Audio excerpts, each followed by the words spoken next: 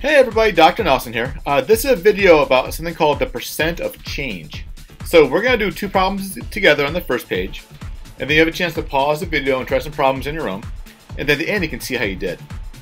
Alright, so really what you need to know is over here in this box, uh, this is the percent of change proportion, and really all it is is the percent of change over 100 equals the amount of change over the original amount, right?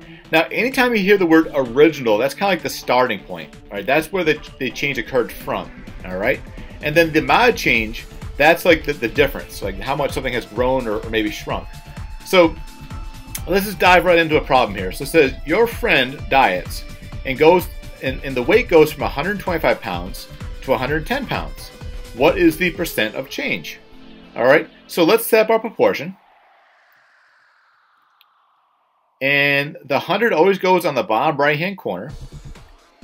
And we're trying to figure out just what is the percent. So the percent of change, that's going to be the unknown. So we'll use n for the unknown.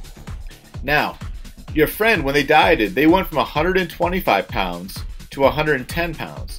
So they started at 125, right? That's that's kind of the original amount. So the 125 will go where the original amount is. And then the amount of change well, when you go from 125 to 110, that's a, a, drop of 15 pounds, right? So the 15 will go right here. So again, the 15 is the amount of change, the 125 is the original amount, and we're solving for the uh, percent change, which is the, the, the, value of n. All right, so now that we have our proportion set up, we can um, write an equation, because I know that 125 times n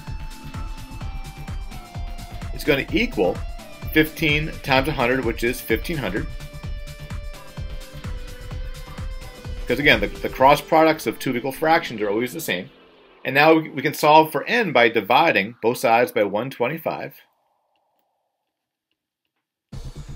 And when I do 1500 divided by 125, I get an answer of 12.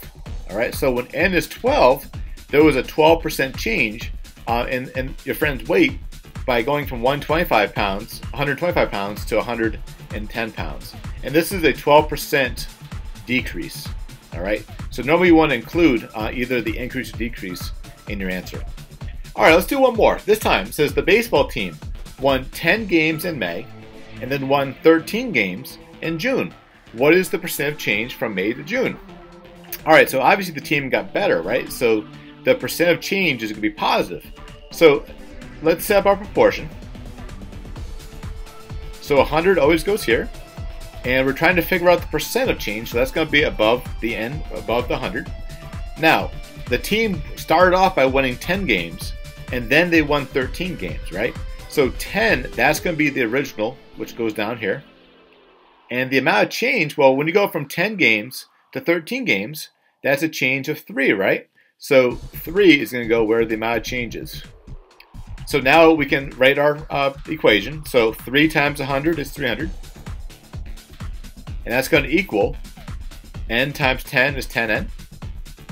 And now when we divide both sides by 10, 300 divided by 10 gives us 30. So the baseball team had a 30% increase in wins from May to June. All right, so now, now they understand a little more about the percent of change. Why don't you pause the video and try the Your Turn Now problems. And when you're done, hit play. You can see how you did. All right, good luck.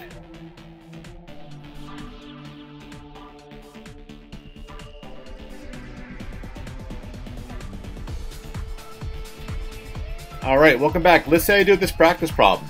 So it says John sold $400 worth of jewelry on Monday, and on should read on Tuesday he sold $500 worth of jewelry.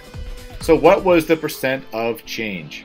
All right, so John obviously went from $400 to $500.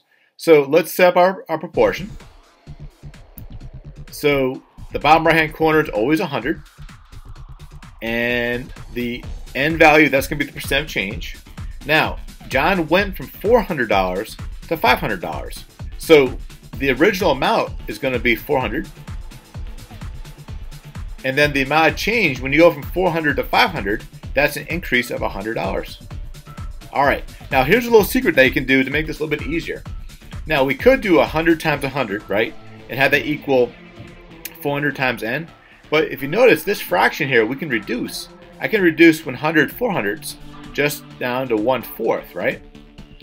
So it's totally fine to reduce a fraction if you need to. So now we know that 4 times n equals 100, right? Because 1 times 100 is 100. And then when I divide both sides by 4, 100 divided by 4 gives us 25%. So John had a 25% increase from Monday to Tuesday in his sales. All right, how'd you do?